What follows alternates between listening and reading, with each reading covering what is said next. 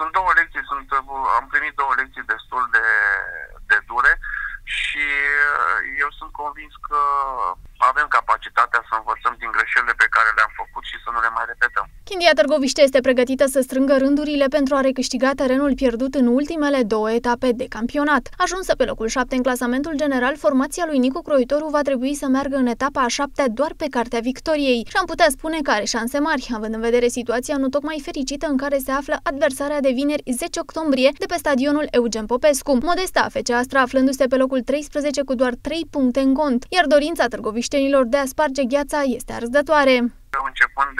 Începând de bă, vineri, rezultatele să fie cele pe care suporterii le așteaptă și bineînțeles și, și noi le așteptăm și uh, cred eu că le și putem uh, obține. Chiar dacă vor porni cu prima șansă, tehnicianul Nicu Croitoru nu subestimează adversarul.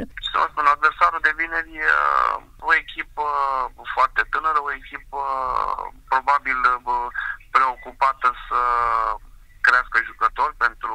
Astra Mare, pentru echipa de divizia. Divizia sunt jucători tineri, talentați, un joc modern, foarte dinamic, însă cu rezultate mai puțin reușite până acum, repet, pe care eu le pun, eu am și văzut la un joc pe care eu le pun pe, pe seama tinereții. În ceea ce privește lotul pentru această confruntare, acesta a declarat că avem ceva probleme cu accidentările. Dobre care are o accidentare ușoară după jocul de la Chiajna, are ceva probleme la genunchi.